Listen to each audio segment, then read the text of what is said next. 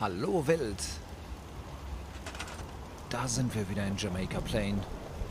Ja, ich glaube, wir haben genug geguckt und uns das genug hier vorgestellt, wie das aussehen könnte. Nachher wird sowieso immer anders aussehen, weil die Teile doch ziemlich groß sind, die man hier immer baut. Naja, wie soll man anders bauen? Und dann passt ein Bett gerade mal rein. Vielleicht sind die Siedlungen zu klein. Die müssten zehnmal so groß sein. Na, da hätte man ja schon eine ganze Stadt, die man hier aufbauen könnte. Ja, eine ganze Stadt wäre cool.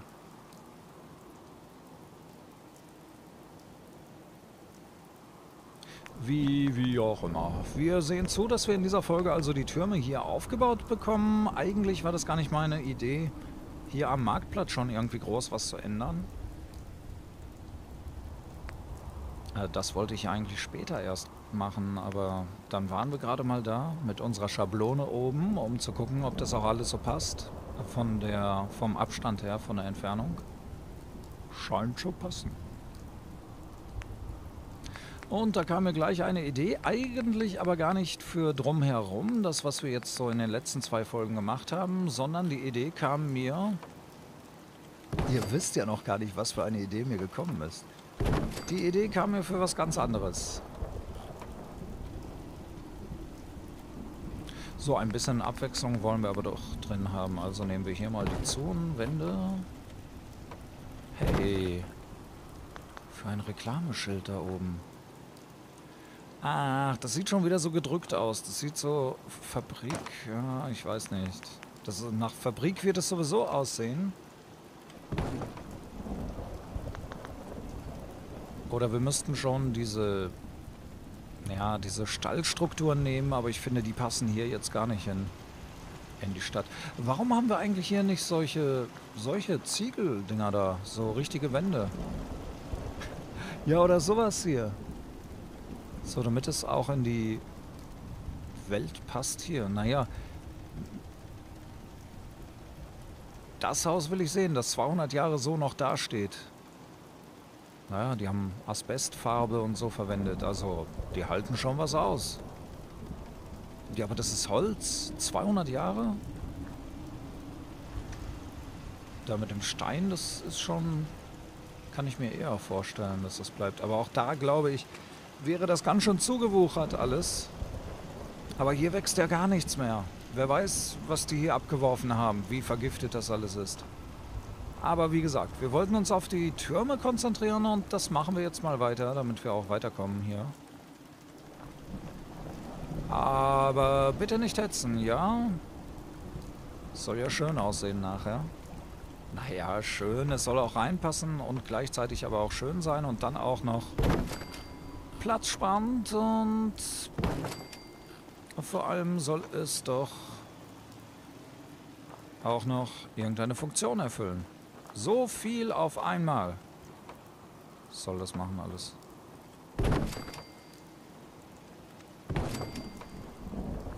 Und wir haben keine Wendeltreppen.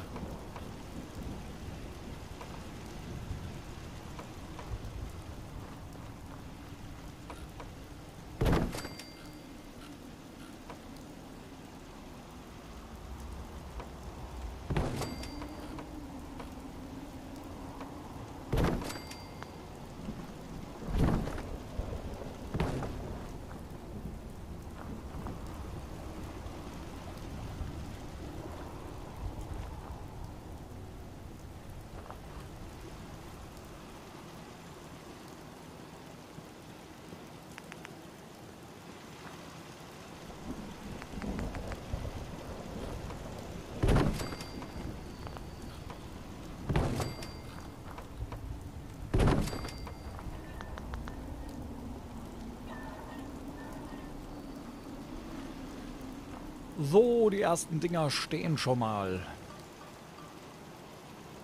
Ja, ja. Jetzt sehen wir mal zu, dass wir die Läden schnell wieder aufgebaut bekommen, damit unsere Leute auch was zu tun haben hier.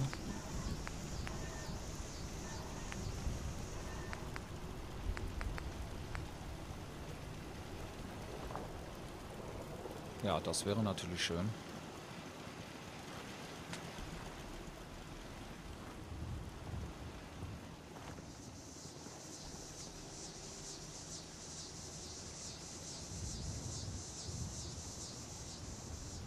Moment mal.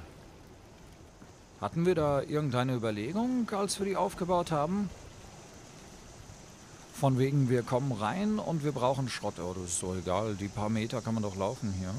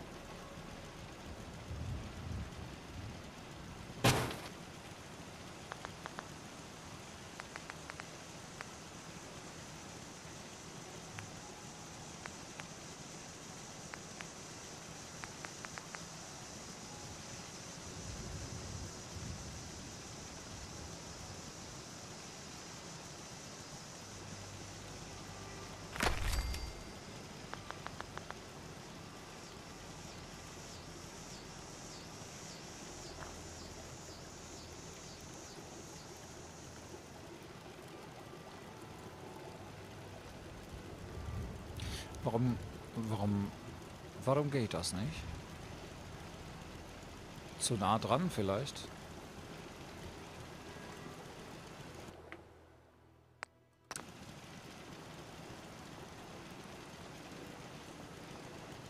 Ja, okay. Da haben wir uns selber eingebaut.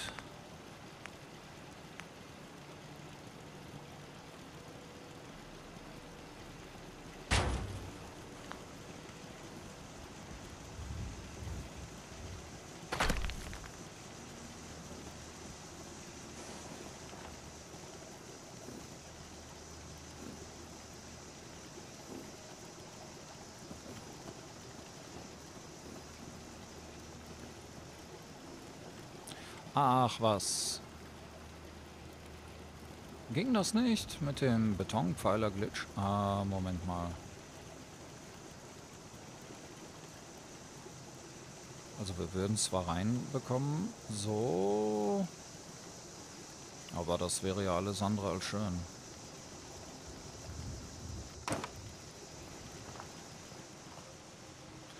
Oh nein. Muss das sein während der Aufnahme? Habe ich jetzt echt vor, den nochmal auszuprobieren hier.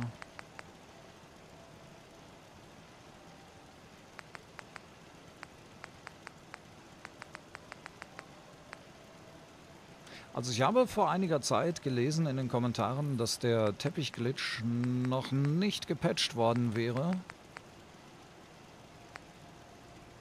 ist ja egal, was man jetzt nimmt. Ich dachte, da wäre so eine halbgroße Gummimatte. Ist das diese hier? Aber bei den Aufnahmen, also wenn man alleine das macht zu Hause, dann hat man ja alle Zeit der Welt und kann da ausprobieren, wie man möchte. Aber bei den Aufnahmen fand ich das immer so ein bisschen mühselig, hier genau den Punkt, genau die Ecke zu finden, wo das Ding hier drauf springt auf den Teppich.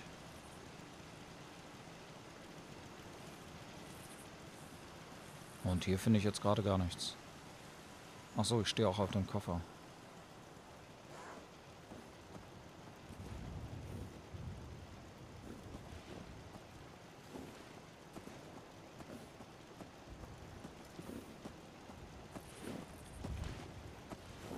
Da, glaube ich.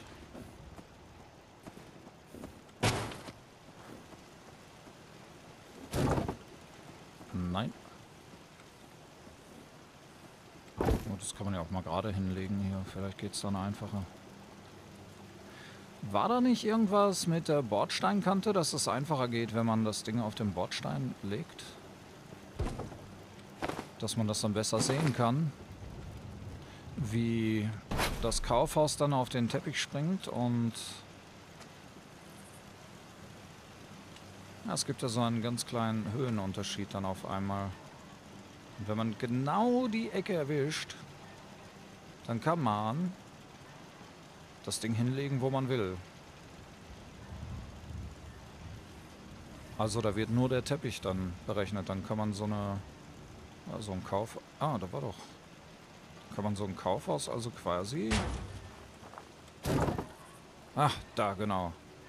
Auch in die Wand hier reinsetzen.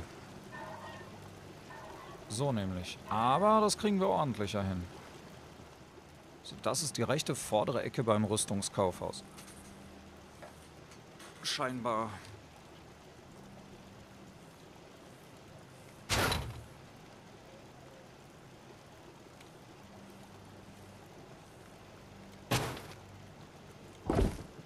Ja. Das könnte doch klappen.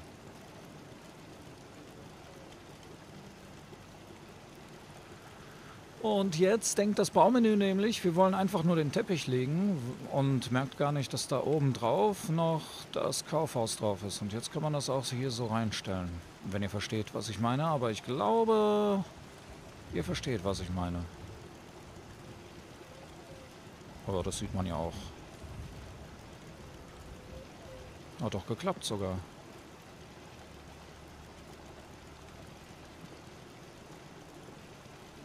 Aber ist ja egal jetzt. Hauptsache steht hier drin.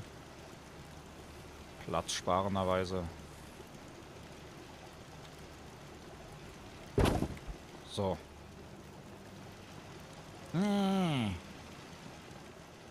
Also da braucht man auch nicht lange E gedrückt zu halten oder so. Wenn das richtig drauf steht, dann nimmt man einfach den Teppich hier. Da. Also ist nicht so wie der Betonpfeiler-Glitch, bei dem man ja eh länger gedrückt hält und dann kann man den Betonpfeiler setzen und das funktioniert. Hey, das wäre doch cool. Mit Armorschild außerhalb. Ja, aber dann sind die Beine in der Luft. Also beides geht nicht.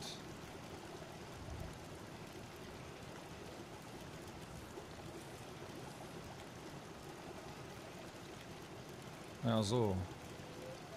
Oh. Ich denke mal, so könnte man es tatsächlich machen. Arm. Oder Arm. Oder Mo. Hey, Mo wäre doch cool.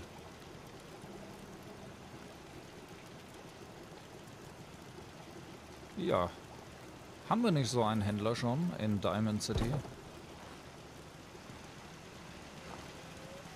Ich finde, so lassen wir das jetzt. Platzsparend ist es.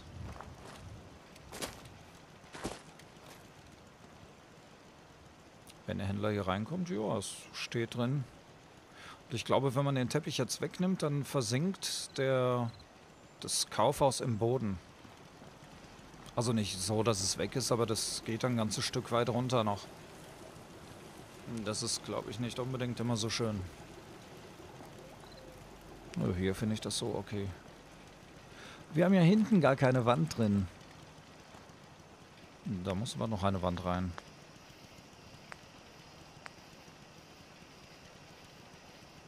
Ich glaube, mit den größeren Teppichen hier geht das besser.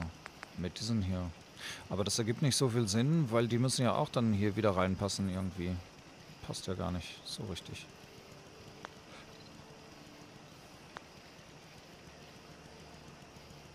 Ich weiß nicht mehr. Das, das mit, dem, mit der Bordsteinkante, das war, glaube ich, was anderes. Da gibt es, glaube ich, noch irgendeinen Glitch.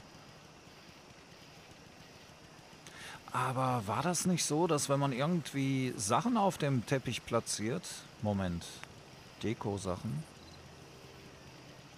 dass die dann da bleiben auch?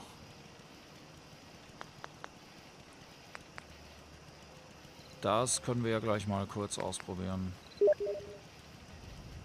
Genau.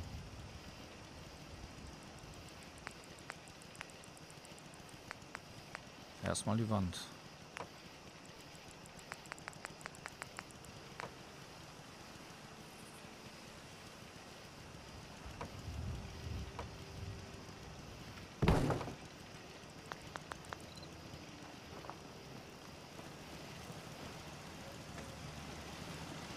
Alles zu, alles dicht. Und was habe ich gesagt? Ach so.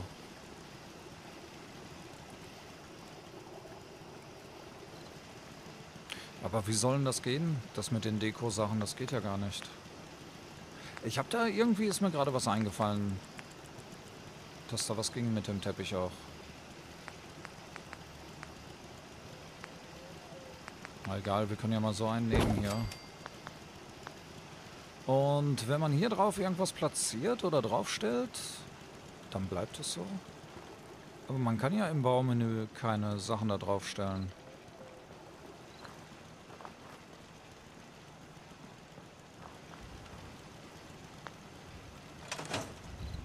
Aber wissen möchte ich es ja schon jetzt. Und Durst haben wir.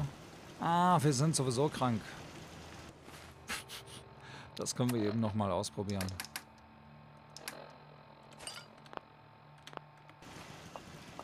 Prima.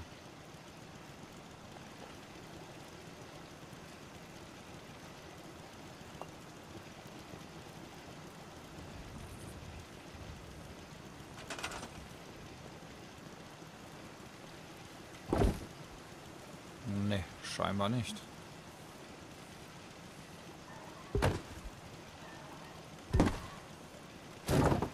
Ah, okay.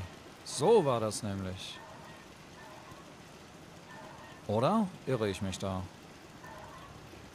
Also, man schmeißt irgendwas auf den Boden, so wie die Bierflasche hier, stellt es dann ordentlich da drauf. Dann geht man ins Baumenü. Oh, Moment, Moment, wir machen das mal richtig hier. Das kann in den Müll, oder? Curry, da hatte ich's doch her. Moment. Man schmeißt also irgendwas auf den Boden. Hält E gedrückt. Kann mit den Maustasten das Ding so ein bisschen drehen. Naja, jetzt ist es ja nicht gerade gerade. Vielleicht funktioniert es ja auch so. Dann schmeißt man es auf den Teppich drauf. Nimmt den Teppich, wenn Curry weg ist. Und die Flasche ist nicht verbunden mit dem Teppich. Nimmt die Flasche, drückt einmal kurz E, dann steht sie auch. Lässt wieder nochmal E. Und jetzt kann man sie hinstellen, wie man will. Und angeblich wird die dann nicht rumgekickt. Curry, versuch das mal. Ja, wenn wir davor rennen, dann kicken wir die bestimmt um. Ja, wir kicken sie um. Das hat vielleicht irgendeinen anderen Sinn mit dieser Bierflasche.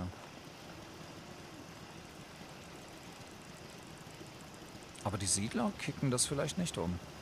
Aber wir schon. Aber man kann die Sachen alle schön gerade aufstellen, so wie die hingehören.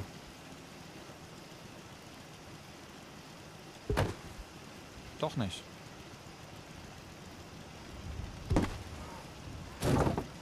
Aha.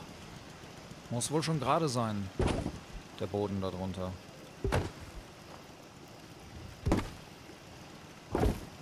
Aha. Geht ja gar nicht.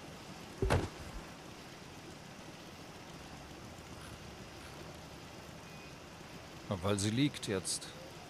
Ja, aber vorhin lag sie auch und auf einmal stand sie, als wir sie angepackt haben.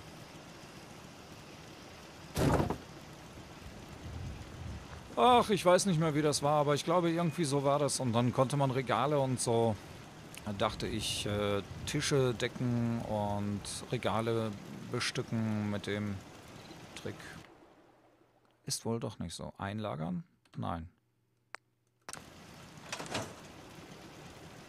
Was wollte ich damit jetzt sagen? Ich wollte einfach selber mal ausprobieren. Ich wusste es ja auch nicht.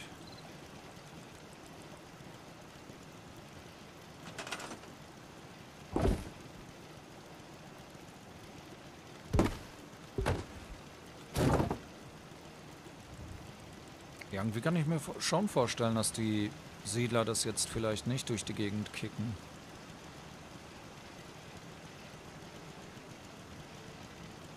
Naja, wer weiß, wir können das ja mal irgendwo beiseite stellen und gucken, ob das nachher immer noch da steht. Ja, hier laufen doch bestimmt viele rum. In der nächsten Folge wundern wir uns bestimmt, oder in der nächsten Aufnahmesitzung vielmehr, wundern wir uns doch bestimmt, warum da sowas ist.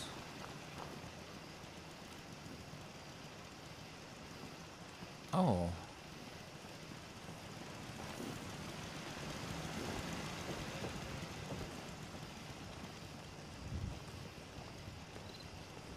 Du verkaufst doch unser grünes Kleid, ja. Na, dann verkaufst du doch bestimmt unsere ähm, Armor.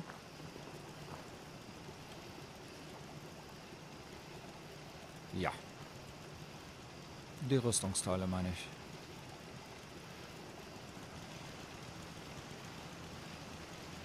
Ja, weiterbauen wir bestimmt auch noch. Oh, das liegt jetzt genau in der Pfütze.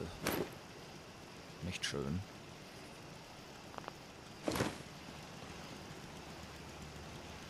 Weiterbauen wir bestimmt noch, aber nicht in dieser Folge, glaube ich.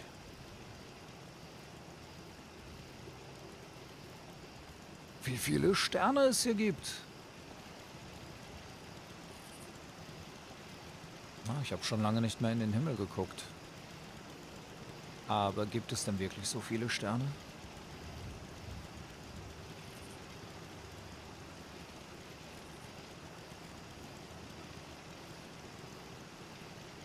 Als ob der Himmel leuchtende Masern hätte oder sowas.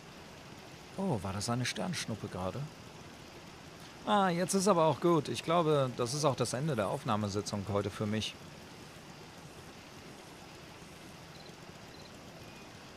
Ja, wie gesagt, weitergebaut wird bestimmt.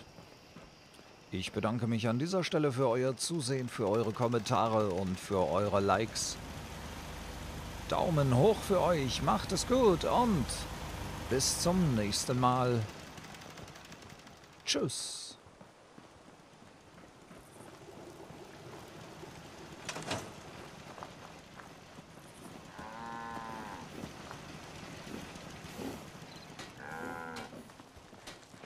Farm ist nichts Besonderes, aber immerhin etwas.